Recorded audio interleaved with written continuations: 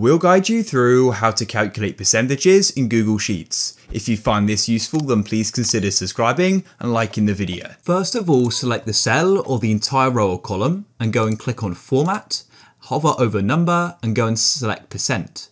Then what you need to do is go into the cell, press equals, and you need to select the value, and then you need to go and put a slash to divide it by the total value like so, then press enter, and it's now calculated it.